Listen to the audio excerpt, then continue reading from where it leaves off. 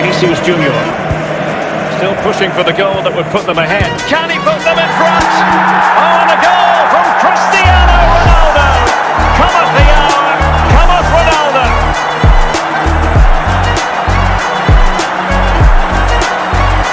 Well, let's take another look. And wow, how cleanly does he hit that? The keeper would...